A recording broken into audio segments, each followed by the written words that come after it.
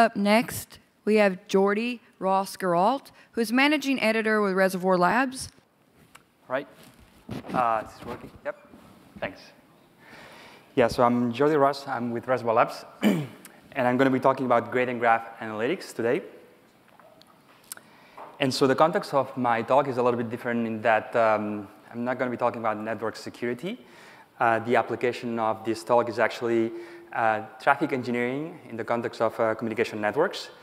And um, and graph analytics is a new technology coming out of Reservoir Labs uh, that is designed to tackle uh, um, sort of a critical network operation uh, objective, which is to bring network utilization from below 30%, which is sort of the way they work today, above 90% utilization. Um, so as you may know, so traditional way to design networks is based on the over-provisioning paradigm, whereby if you want to uh, get three units of bandwidth, uh, you need to pay for 10.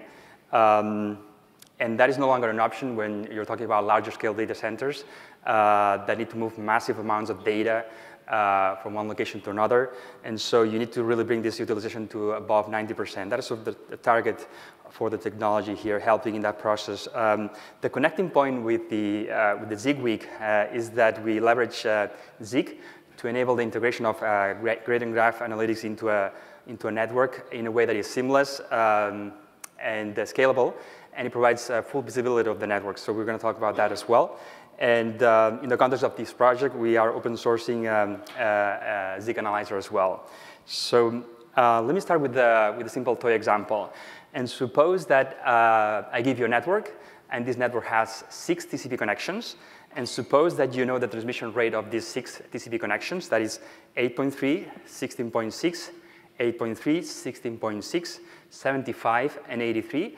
And suppose that I ask you, you know, which one is the flow that is taking, uh, that is having the highest impact on the overall performance of the network. And the traditional sort of conventional wisdom on this question has been that uh, you have to look at the heavy hitter flow. Uh, that is also called sort of the, uh, the elephant flow. And if you look at sort of the best practice, what you would do here is basically say, well, um, clearly 75, the uh, flow number five uh, is taking the highest uh, bandwidth, is taking 75 units of bandwidth. And that's sort of like significant more than, than the second flow, and so I'm going to go for that. That's sort of the way we approach this problem today. Now, if I give you a little bit more information on this problem, and I tell you the actual topology of the network, um, would you come up with the same, with the same answer? Now, the, to, the way to read this uh, diagram here is that uh, circles are links, and lines are flows. So we have four links uh, and six flows. And now you can start reasoning a little bit more on this problem and say, well, flow five, uh, where, is it, where is it? It's right here. It's the green flow. It's, uh, it's going through a couple of links. And, you know, it's affecting maybe the performance of flow six and flow four, but you can maybe reason that, well, it's not really taking a, you know, it's, it's affecting a portion of the network that may not be critical. It seems that this region here might be sort of hotter. And, and, uh, and so maybe you can reason that maybe it's not sort of the biggest flow here. Um, what we have developed at Reservoir Labs is a, sort of the mathematical, the mathematics behind this problem, and we, we have resolved this problem, and based on the topological structure of the network, we can tell you uh, which is the, the flow that has the highest impact. And the, the result of this sort of mathematics is that uh, networks actually have something called bottleneck structures. Uh, and these bottleneck structures uh, reveal uh, that not all bottlenecks are, equal, that they, there are sort of something that you might refer as sort of ripple effects that, um, uh, and, uh, and that they organize in certain ways in certain hierarchies. And this uh, structure is revealed uh, by the bottleneck structure. An extension to this structure is, is, what we call the flow gradient graph, which is represented in this image. the way to read this graph is that white vertices in this graph are bottleneck links, and gray vertices in the graph are flows. And so uh, if there is an edge between a bottleneck link and a flow. It means that uh, such, such flow is bottleneck at that link. If there is an edge between a flow and a link, it means that such flow is not bottleneck at that link, but that flow goes through that link. So that is the way to understand this graph. Um, and the graph also allows us to actually uh, quantify uh, the impact. So um, the way to read this is a directed graph, so uh, it tells us also the ripple effects of uh, perturbations that you might have on, on, on, on uh, regions in the network. So for instance, if you are somehow modifying the performance of link 2 here, this is going to trickle down to, uh, to flow 4 and flow 2, but it's not going to affect the performance of flow 3 and flow 6. So the, the graph tells you basically the, the ripple down effects. Um, and now we can start uh, looking at the problem again and say, well, what is flow 5 in, the flow, uh, in this bottleneck structure is actually here, and it's uh, a leaf in this uh, graph, and that tells you that the region of influence of flow 5 is actually empty. It means that flow 5 has no influence on the actual performance of any of the other flows. Um, and now if you actually do the math, which I'm gonna, not gonna do that uh, here, but uh, basically it turns out that the, the, flow that has the highest impact is flow 6, which you could maybe reason about that because sort of this location seems sort of strategic here uh, in terms of the, the region of influence.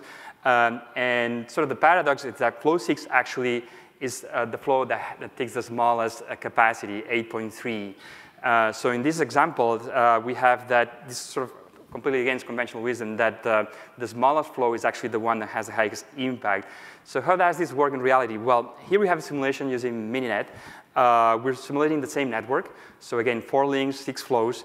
Uh, on the upper left side, you have uh, running the, the network. Uh, each flow is trying to transmit 250 megabytes.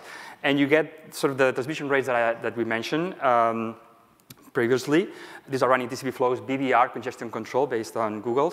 Um, now, if we remove flow 5 from the network, which is uh, the diagram in the middle, so the flow 5 is the biggest uh, flow, that's the purple flow, you can see that there is no effect whatsoever on the rest of the flows. Uh, the flow completion time stays intact. The transmission rate is pretty much the same. Um, and, but if you remove flow 6, uh, this is the, the diagram here on the right side, you actually see that the, the flow completion time significantly improves. So uh, almost reaching from, from, you know, from 679 being the slowest uh, flow, uh, the flow completion time for this flow uh, gets reduced to 457, so about 40% reduction. Uh, and that is sort of what predicted the, the, the, the, mathematics of the problem, that indeed um, sort of uh, the biggest flow actually has no impact, but in fact, the smallest flow is actually the one that actually gives you the, the better performance. So um, anyway, this is uh, sort of a way how the mathematics work, and um, the gradient graph analytics actually build on top of these to be able to make um, a smarter decision in terms of traffic engineering. To put more context to the problem, this is, and this is a slide coming from Bill Johnston uh, at ASCOC uh, this year. And uh, Bill here was describing a, a situation in, in, the, in the Large Hadron uh, Collider uh, by which uh, they were trying to, to ship um, this huge amount of data coming from the collider in Geneva all the way to the US. And they were the network was just, was just not working. Somehow they were having a lot of congestion and they couldn't figure out what was going on. And uh, it turned out that there was a bottleneck in the transatlantic connection, uh, but, it, but, it, was very hard to sort of uh, figure that out. So that's the kind of uh, problem that uh, uh, gradient graph analytics can actually tackle based on the bottleneck structure of the network. Um, so that's to put into context. another way to think about the problem is that you know, if, if you walk out at night on a clear sky and look up, you might be able to see uh, Venus, and maybe you are able to see Mars, but you're not going to be able to tell much of the detail. Um, now, using technology, you can actually start zooming in, and you can actually uh, tell things like, you know, there is actual, actually there is water one mile uh, below the Mars uh, surface. And so that is the vision behind uh, gradient graph analytics, that it's trying to um, going into a direction where you gain an intimate knowledge of bottlenecks and flows. Uh, we really want to understand what's happening in the network. Uh, we really want to understand uh, for every flow and for every bottleneck, what are the ripple effects, and be able to use these into a framework that allows you, allows you to actually optimize the network. Um, let me give you another example. This is Google's uh, B4 network, uh, which is um, an, an SDN WAN uh, network that connects globally uh, Google's uh, large scale data centers. Uh, in this case, it connects 12 data centers. And so you can ask, what is the bottleneck structure of this network? And if you do the math, you get, you get this under the assumption of shortest path and full mesh connectivity. And what is this telling us? Well, um, if, for instance, if you look at the link one, uh, is a leaf in, this, um, in the bottleneck structure. And so it means that the region of influence of link one is basically empty. Uh, where is link one located? Well, it's, it's this link here, and sort of that makes sense, right? Because this link uh, sort of isolated from the network, so it means that really has no impact on the rest of the uh, network. Um, now, if we, go, if we go to the root of the bottleneck structure, we, we find link 8, and, and it, the graph is telling us that link A has the highest influence because, in fact, there's a path between any link, between link 8 and any other link uh, in the network means that link link a has the potential to affect the performance of any other link in the network. Where is link 8 located? Well, it's a transatlantic connection, and so that makes sense. This link is highly strategic.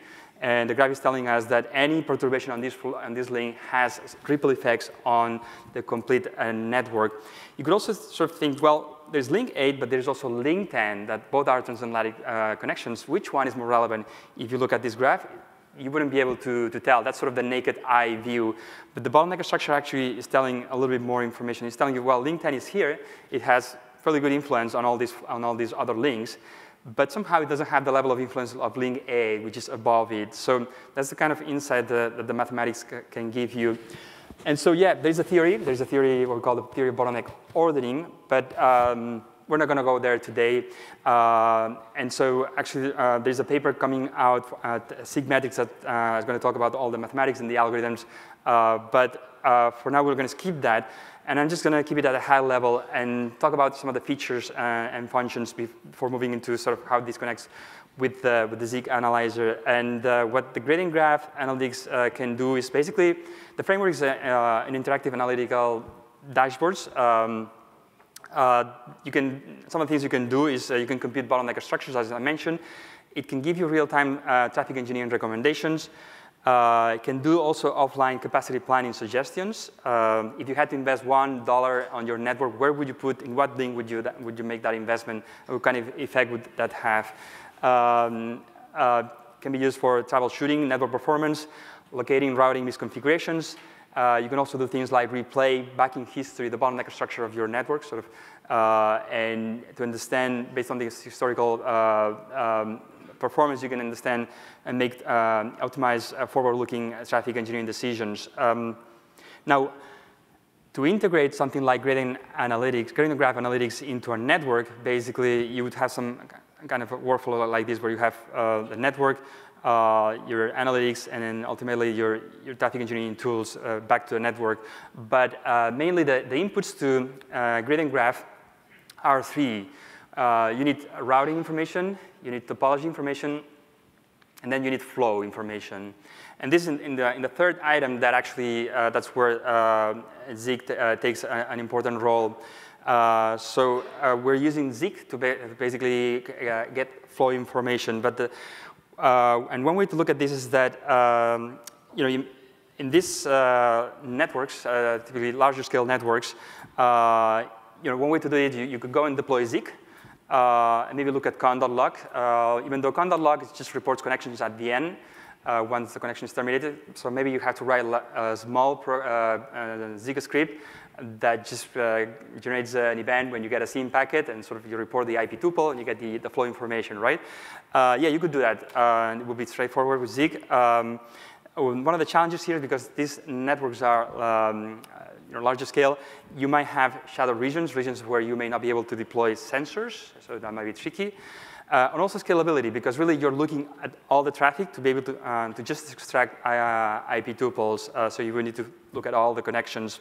Another approach, uh, in many of these networks, actually they already have infrastructure to track flows, things like NetFlow and SFlow.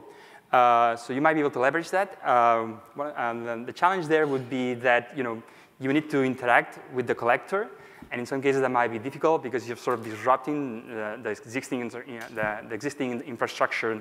Yet a third way uh, to do this would actually be to do both at the same time. So yeah, you can leverage the existing infrastructure, say SFlow or NetFlow, but then you, uh, you connect Zeek, but you, you actually are installing Zeek to only look at the SFlow traffic. So you avoid the shadow regions problem, and it's non-disruptive in that you're passively um, um, looking at traffic without interfacing with the, with the collector. And it scales well because this, you, uh, the, the, sensor is uh, just looking at SFlow traffic, doesn't really look, uh, need to do uh, looking at all the flows. Uh, and SFlow is taking care of the scalability by doing packet sampling, say. So um, this is the third scenario we're looking at. And so what, uh, to enable the integration, we, we wrote um, an analyzer, specific, specifically we wrote an SFlow analyzer. Uh, and that's what I'm going to be switching to that. Uh, we of course, we use BinPAC, uh, which is really, really cool uh, domain-specific language. And, and um, for those of you who have already used it, but it's really always, it's really fun, you know, because it really feels like you're writing almost like an IETF RFC. You're just specifying your PDU, uh, the headers, and BinPAC is going to take care of all the magic. It's going to convert that into C++ classes, and you just need to focus on, on the protocol. You don't have to uh, focus on actual code. Um, so the other uh, sort of advantage, advantage for BinPAC is that it, it allows you to leverage the, the sort of the 80-20 rule that you do 20% of the work and you get 80% of the value. Really, when you're, when you're uh, trying to write an analyzer, uh, most of the cases, you don't have to write a full analyzer. You're just looking for certain metadata. This was certainly our case. We just needed to get the IP tuples uh, from flows. So uh, in a matter of you know, days, you can have uh, an analyzer running. Even in one day, you can write an analyzer. So a really very productive uh, tool. Um, the SFlow analyzer uh, has basic functionality. mainly, it populates the service field in conduct uh, with, an, with, with the SFlow tag. Uh, and then it has two new events. Uh, SFlow event, which issues uh, for each SFlow, uh, it's being issued for, uh, for each SFlow uh, datagram. and that's sort of the control plane of SFlow, so where you get metadata from the, from the SFlow control plane. There's another event, SFlow packet sample, which is issued for each SFlow sample, and those are actual samples from the network, packet samples from the network, so that's more like the data plane, if you will. Um, the, the analyzer also generates uh, two new logs, uh, the sflow.log, uh, which again is sort of the control plane. It, it records an entry for every sflow datagram. And sflow sample.log will be the data plane. It reports a record for each um, sflow uh, sample. Um, and as I mentioned, we just open sourced it last night, and uh, thanks to Johanna for accepting the pull request. Um, but yeah, so going into the sort of the analyzer, as I mentioned, two, uh, just very basic, a uh, couple of events, SFlow event on the control plane. It's giving you basically metadata about the, the sort of the SFlow, um, uh, the SFlow agent, uh, the IP address of the agent, the IP address of the of the collector, uh, the version, the version of the of the SFlow protocol that you're running, uh, the number of samples that, that, um, that, it's, that are being taken um, and such. The SFlow packet sample event is more on the data plane, as I mentioned, and that actually gives you the IP tuple of the flow, and that's uh, the information that we plug into the gradient graph analytics. That's all we care, in fact. It also gives you protocol and the sampling rate, um, et cetera. Because SFlow is doing sampling, this is sort of highly scalable because you're not really looking at every packet, you're looking at the sample of the population. That is enough to capture the flows. uh, the analyzer.pac, so again, two, generates two, two events, uh, the SFlow event and the, uh, the SFlow packet sample. And here the protocol.pac, here is where sort of the, the high-level specification language uh, is at place where you have sort of the PDU definition, uh, the, the packet header. So again, really cool that you can just write down your headers, your PDUs, and run the compiler and generate the, generate the, the code. Um, so in terms of the output, uh, as I mentioned, conn.log uh, gets populated with the sflow tag on the service, service column. Um, there's a new flow, sflow.log, which could be seen as the control plane for sflow, which gives you information about the, the agent, the collector, the sflow version, um, the number of samples that are being taken. So 8 means that you're sampling one packet out of eight in this case. Um, the, and then there's the, the sflow sample.log, uh, which is the data plane from, for the sflow, and this here's where you have the actual uh, samples, and, and here you have the IP addresses, so the IP tuple for the connections that really go into uh, the gradient graph analytics to, to generate the bottleneck structures. Um, okay, just some visualization. Uh, this is sort of the output. Uh, that's uh, the interactive dashboards. Uh, you, get, you get to see, of course, the network. So, and this is uh, Google's B4 network, the 12 data centers that I mentioned. Uh, you get to see the flows. That's sort of the traditional view of a topological view with the, with the connections. But then you, you get to see the bottleneck structures of the network, and this uh, is visualized in real time. You can also play them back in time so for the analysis. and also the, the flow gradient graph. and this view where, where you can see uh, we're selecting flow 22 and we're asking the tool to give us the, the region of influence for flow 22, flow 22.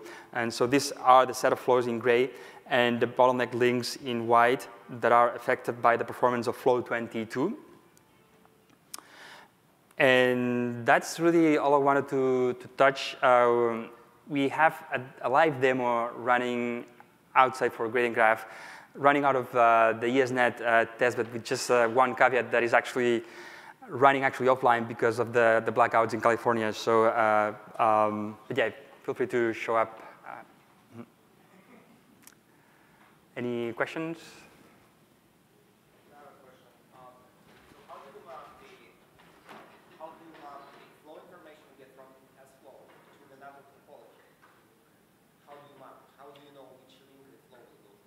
How do you know which? Which link? Which link? Yeah, right. And that is the routing information. So we, we also take the routing information from the network. Uh, that is a different story. But yeah, we need to take routing uh, and flows. Yeah, so we can use, uh, in some cases, we use like OpenBMP for the routing. Uh, and based on that, we can understand the paths. And then from there, uh, compute the, the bottleneck structures. Yeah. Mm -hmm.